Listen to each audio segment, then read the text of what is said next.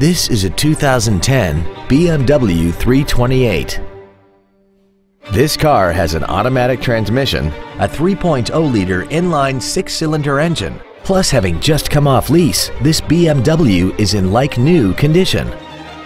Its top features and packages include the Premium Package, a multi-link rear suspension, a navigation system, a low tire pressure indicator, traction control and stability control systems, aluminum wheels, and adaptive brake lights.